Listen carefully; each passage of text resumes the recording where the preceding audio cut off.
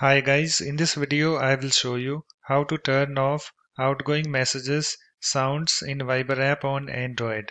So this is my Android device, so let's start. So first of all you have to open your Viber app. So here is my Viber app. Let me tap on this to open it.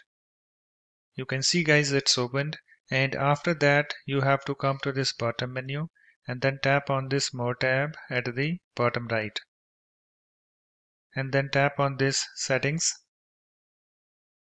and then tap on this notifications on this settings screen. And I have this notifications uh, this screen opened. And on this screen you can see here we have this outgoing messages sounds. So currently it's turned on. You can see it's checked. So in order to turn off this you have to uncheck it okay so just tap on it in order to uncheck it. So let me tap on it. And you can see it's now unchecked. So it's now done. After that, you can go back to your chats screen. So let me go to that.